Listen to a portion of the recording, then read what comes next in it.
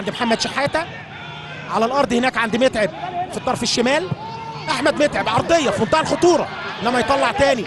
برافو يا ولد علي لالا مرتين ثلاثة هو اللي يتعامل تسديدة جامدة. جول جول جول. مش ممكن. حيرتينا يا كورة. حيرتينا يا كورة. كورة مدفع.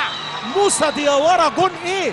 عالمي عالمي يا موسى يا دياورا عملوها طلائع الجيش في الدقيقة الخامسة من الوقت المحتسب بدل الضائع. يعني الهجمات طول اللقاء ما قدروش يسجلوا وواحدة بتسديدة بعد ما الكل خلاص قال لك اللقاء رايح لتعادل سلبي. يفاجئنا موسى دياورا بجون عالمي ما يقدرش يعمل لها حاجة. علي لطفي واحد صفر وهدف أمانة. بكل أمانة الجيش يستحق الانتصار في لقاء اليوم. أدي دياورا بص الراجل استلم. إزاي ولف إزاي وسدد إزاي. إيه يا ابني الجمال ده؟ إيه يا ابني الجمال ده؟ عمل كل حاجة مطلوبة من المهاجم في الجون اللي جابه. استلام ودوران وتسديد مفيش أحلى من كده. يا سلام يا دياورا جون حلو. كان لازم النهارده اللقاء يبقى فيه جون مكافأة للأداء. سواء هنا أو هنا. آدي اللعبة رايحة فين؟ علي لطفي صعبة. لو